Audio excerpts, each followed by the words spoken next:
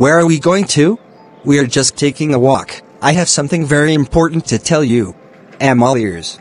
Hello everyone. Welcome to our YouTube channel ABK Tech TV.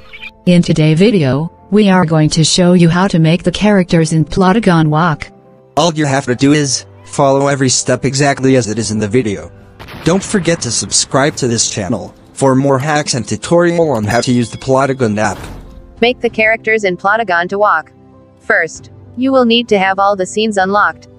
I already have done a video on how to get all the characters and scenes unlocked for free. Check in the description of this video you will get the link for the video. After that, open the Plotagon app. Click on create video. Click on where to choose a scene. Find street medium shot, or street wide shot. There are four. Choose any one of the four.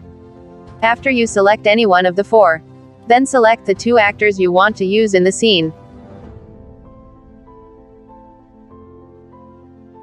Type in any conversation between the two actors.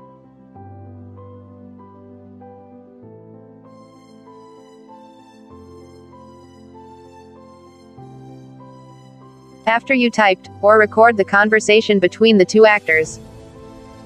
Play it, and they will be walking and talking. Mind you, there are four walking scenes.